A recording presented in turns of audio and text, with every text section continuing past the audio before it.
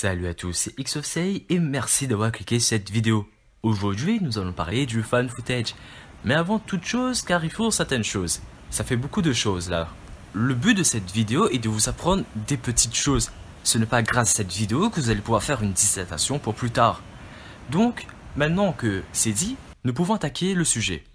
Le found footage, dit enregistrement trouvé, est un genre qui a été popularisé en 1999 par le projet Blair Witch. L'origine du fan footage remonte dans les années 60 en utilisant le procédé de caméra subjective. Cette technique permet d'avoir une mise en scène immersive.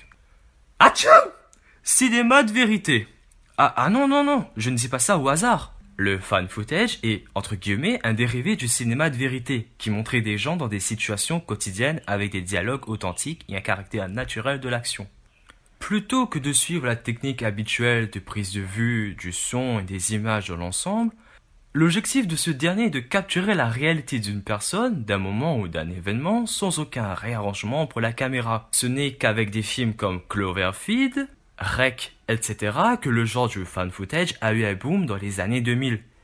Les derniers films en fan footage que j'ai pu voir, c'était Night Shot, ainsi que Ghostbusters sorti récemment sur Mongo disponible à la demande sur molotov.tv.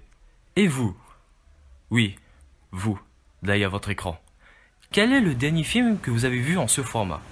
J'attends votre réponse dans les commentaires. Merci à tous d'avoir suivi cette vidéo jusqu'à la fin. Si au moins je vous ai appris quelque chose, n'hésitez pas à mettre un commentaire ou de liker la vidéo ou de partager la vidéo. Ça serait un honneur pour moi. Merci à tous d'avoir suivi cette vidéo jusqu'à la fin et moi je vous dis à la prochaine pour la vidéo.